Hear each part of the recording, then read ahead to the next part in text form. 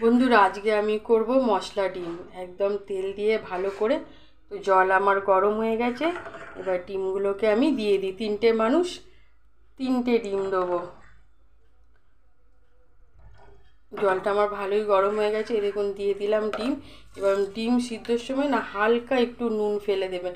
তাহলে ডিমটা জার্মসও মরে এবং ভালোভাবে সিদ্ধ হবে। তো আমি আবার পরে ফিরে আসছি বন্ধুরা। বন্ধুরা, আমার ডিম সিদ্ধ হয়ে গেছে। তো চলুন মশলাটা করা যাক। বন্ধু মশলাটা বাটা যাক, তার জন্য আমি নিচ্ছি অল্প জিরে, কয়েকটা রসুন আর কয়েক কুচি আদা। তো চলুন এটাকে পেস্ট করে নিই। মশলাগুলো সব পেশা হয়ে গেছে। বন্ধুরা, তেল আমার গরম হয়ে গেছে, এবার ডিমটা চলুন ভেজে নিই। তার জন্য আমি তেলের মধ্যে দিয়ে দেবো হলুদ।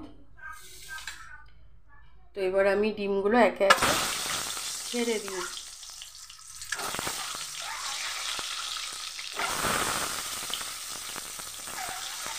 চলুন ডিমগুলো আমার ভাজা হতে থাক। তারপরে আমি আবার ফিরে আসি ডিমগুলো ভেজে নিই।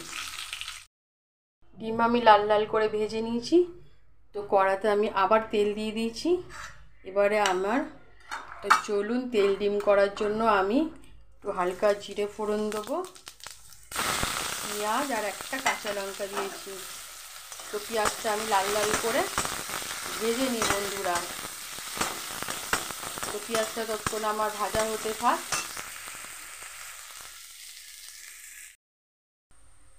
পেঁয়াজটা আমার লাল লাল ভাজা হয়ে গেছে।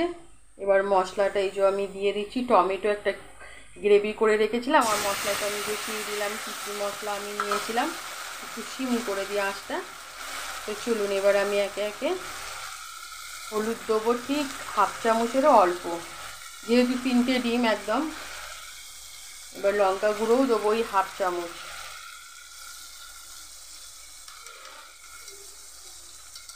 এবার আমি দেব হালকা একটু চিনি। এবার অল্প পরিমাণে দেবো নুন, বেশি নুন হয়ে যাবে, অল্প একদম। চলুন তো মশলাটা আমি কষে জল ঢেলে দেবো। তো মশলাটা আমার কষা হচ্ছে।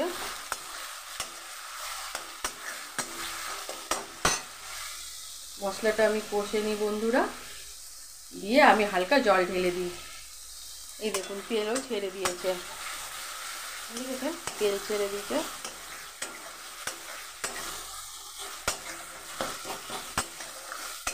একটু ভালো করে কষলে কাঁচা মশলাটা গন্ধ আসে না। তো চলুন আমি এতে হালকা একটু জল ঢেলে আর ডিমগুলো দিয়ে দেবো আমি।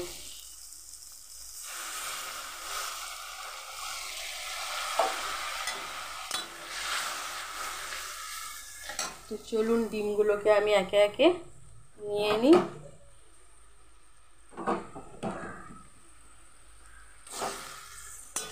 ডিমগুলোকে দিয়ে আমি এবার একটু হালকা ফুটতে থাকুক বন্ধুরা। বাড়িয়ে দিই গ্যাসটা। এই দেখুন, আমার ফুটছে। তো চলুন আমি নামিয়ে আপনাদের আমি দেখাচ্ছি। আমার ডিম তেল রেডি। আমি হালকা করে একটু গরম মশলা ছড়িয়ে দিলাম বন্ধু। তো আমার ডিম তেল কেমন হয়েছে দেখে আপনারা কমেন্ট করে জানাবেন। ভালো লাগলেও বলবেন, খারাপ লাগলেও বলবেন। তো ভিডিওটা এইটুকু ছিল। টাটা বন্ধুরা, জয় গুরু।